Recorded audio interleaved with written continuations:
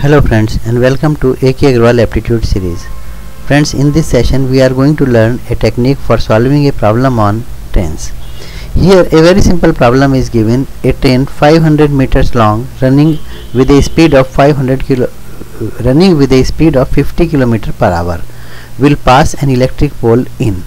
The train has to pass an electric pole so how much time it will take if train is 500 meter long and its speed is 50 kilometer per hour. So friends to answer this question here all four options are given in seconds but if you see speed is given in kilometer per hour. So first let us convert this unit kilometer per hour into meter per second. So speed of the train is equal to 50 kilometer per hour. Kilometer means 1000 meter. So 50 into 1000 divide by hour. Hour means 60 minute and in each minute 60 seconds are there. So divide by 60 minute into 60 seconds.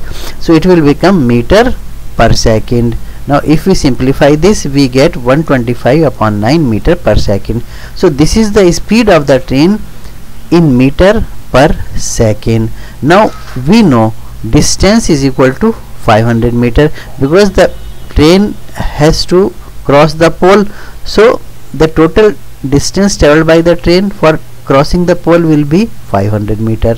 Now we know the formula. Time taken by the train to pass the pole time is equal to distance upon speed. So we have to determine the time taken by the train to pass the pole time is equal to distance upon speed. We know distance is 500 and speed is 125 upon 9 so distance is 500 and speed is 129 upon 5 seconds. This much time will be required to cross the pole.